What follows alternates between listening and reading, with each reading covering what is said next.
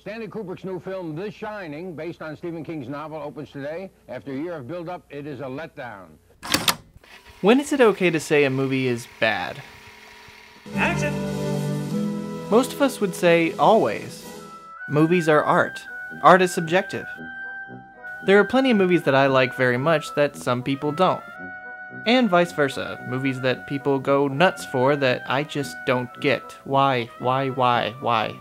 There definitely seems to be a difference between what those who regularly watch movies and what I'll call the average moviegoer will watch. That's why it doesn't surprise me all that much when an original movie like The Nice Guys, even with glowing reviews and bankable movie stars, comes in fourth, losing out to films that target the lowest common denominator. So, a movie based on an app that was popular three years ago, a lowbrow comedy sequel, and a franchise cow went out. There are fundamental elements that separate well beloved films from much despised ones. Anyone who calls Casablanca a bad film would be hard pressed to find acceptance in prestigious film loving circles.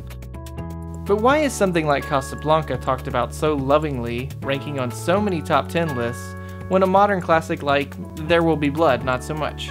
Well, an obvious answer is that Casablanca is much older, and has had much more time to inspire filmmakers and film as an art form.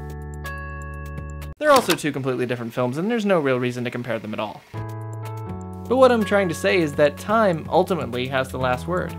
Citizen Kane had more impact on how movies were made than possibly any other film, but does that make it a better film than, say, Robocop?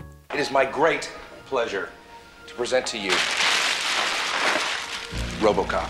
Is RoboCop a perfect movie? You talk about like like movies, like classic movies, like Citizen Kane. Like it feels weird to, to like talk about RoboCop as some sort of masterpiece. It's it's perfect in the sense that everything it sets out to do, Yeah. Yeah. it accomplishes flawlessly. It's also important to meet a movie halfway, to come to the movie's own terms. You don't watch an Ed Wood film with the same expectation that you would watch a David Fincher film. It's also certainly possible to like a film while still acknowledging it is heavily flawed and is probably out and out bad. That's not how the Force works. No, seriously, this can be done. Independence Day is a movie that I know is fundamentally bad. Its characters are thinly drawn stereotypes, it's blindingly, unapologetically patriotic with no sense of self awareness whatsoever. It's a movie I would call innocently dumb. Whereas two years later, the same director made another action movie that just assaults you with how dumb it is. It's not innocent in its attempts to entertain, it just comes off unpleasant. I'm sorry, this video is going off on a tangent. But anyway, where was I? Casablanca! Play it once, Sam. For all time's sake. I don't know what you mean, Miss Elsa. Play it, Sam. I have a friend who doesn't care for Casablanca. In fact, the majority of audiences probably don't care much for Casablanca. It's a movie that is beloved by those who love movies, those who appreciate the art of screenwriting, and would feel too foreign to the crowd who sees a movie once its opening weekend and never feels a desire to revisit it. Let alone would watch a black and white film that is mostly characters talking to one another. But where one person would probably fall asleep, another sees a masterpiece. Often cited as his favorite film, Roger Ebert said of Casablanca, Seeing the film over and over again, year after year, I find it never grows overfamiliar. It plays like a favorite musical album. The more I know it, the more I like it. The black and white cinematography has not aged as color would.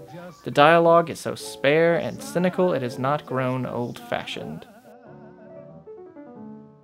But also, art is subjective, so if you don't like it, that's okay. The thing I love about film critics is that they don't have the last word.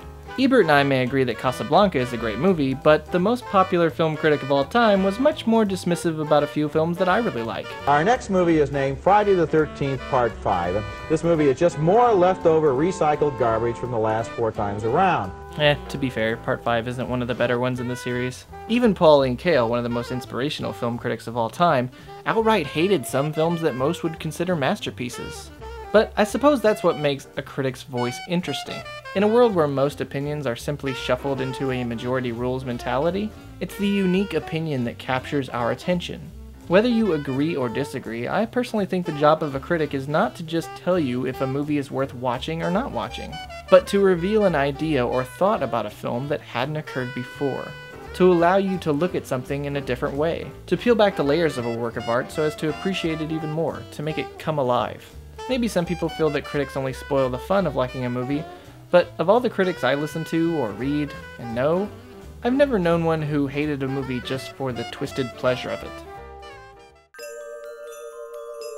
When all is said and done, what sets a film's worth is whatever value you, the viewer, place on it.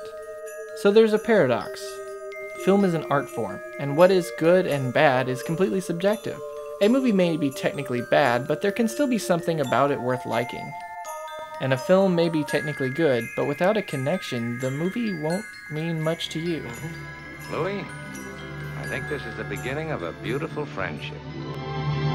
Except when you're wrong, because Casablanca is a masterpiece.